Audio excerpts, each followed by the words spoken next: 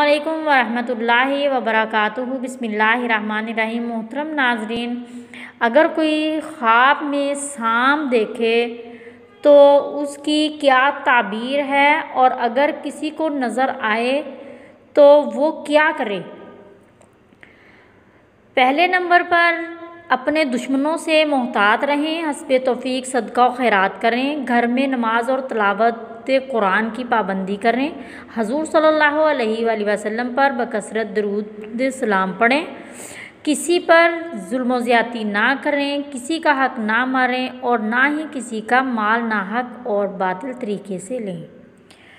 और इसकी ताबीर क्या है? सांप का देखना।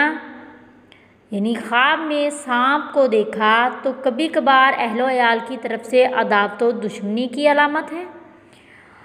कभी उसकी ताबीर ज़्यादा हसद करने वाले शरीर किस्म के पड़ोसी से की जाती है?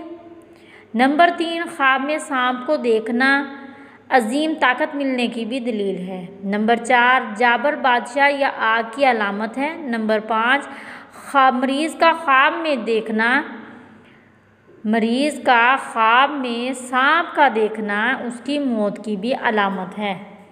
तो इसलिए जो ऊपर एहतियात बताई है कि अगर कोई ख्वाब में देखे तो क्या करना चाहिए? इस पर लाजमी अमल करें। इन शाला कोई ख़तरे वाली बात नहीं होगी।